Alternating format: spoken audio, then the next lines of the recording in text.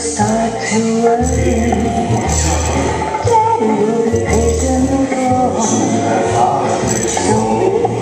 I'm very sorry Or maybe get here to pay off